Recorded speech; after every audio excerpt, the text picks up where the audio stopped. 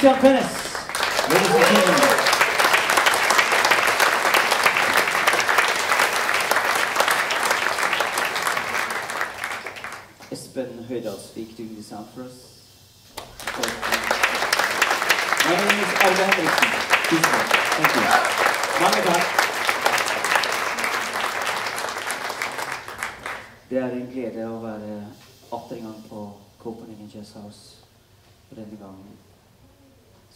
Jobb nummer to sammen. Vi spilte i Lugano i går, og det er en stor ære for en eh, ung norsk trompetist å få lov å spille med Fennes, som har vært med i en årrekke og jobbet og laget fantastisk musikk som man har vært en fan av.